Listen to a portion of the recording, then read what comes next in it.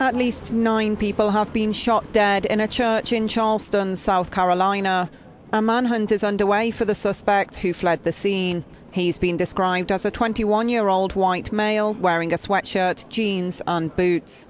Unconfirmed reports suggest Reverend Clementa Pinckney was among those killed.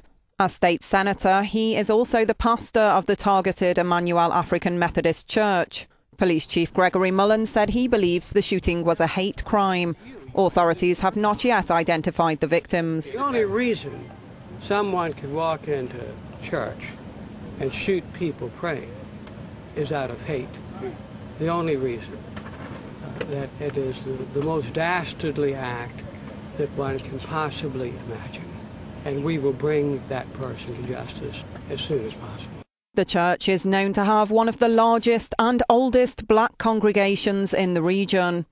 As prayers are said near the site of the shooting, a manhunt is underway in the local area. Helicopters circle overhead while dozens of law enforcement officers, several equipped with military style rifles, carry out ground searches.